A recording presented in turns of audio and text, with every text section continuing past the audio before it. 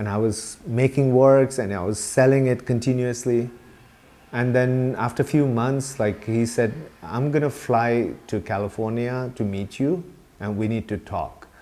So he flew into California and then he said like, okay, uh, all the works that you have been selling up until now is bought by the, the, uh, the founder of the Rubin Museum, Donald Rubin himself, for his private collection. So I was shocked.